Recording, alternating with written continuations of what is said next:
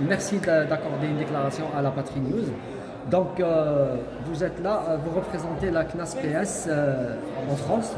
Une déclaration concernant les travaux et les attentes formulées par rapport à cette 47e conférence de Le Coco.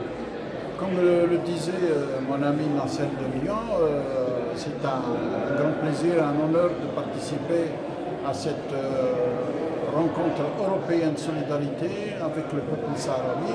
Je pense que nous, euh, c'est le, complément et la suite des activités qu'on mène euh, en France. Malheureusement, il y a une chape de plomb qui ne peut pas euh, faire connaître, et surtout ces derniers temps, avec la, la solidarité et l'impact qu'on a exprimé envers le peuple palestinien.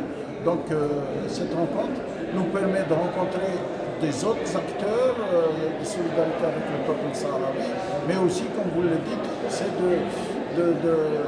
d'envisager de, euh, des activités euh, ultérieures, évidemment dans le cadre du CNSPS, le Comité national de solidarité avec le peuple sahraoui, à l'instar de, de, la solidarité exprimée depuis, évidemment, depuis jadis envers le peuple sahraoui, de la communauté algérienne. Par exemple, euh, dernièrement, cette année, on a reçu euh, des petits-enfants sahraouis, on a organisé des conférences de débat, on a reçu aussi des délégations, euh, des délégations sahraouis et la militante Sultana Kheya, qui, comme vous le savez, a été victime de violences et tout un de choses.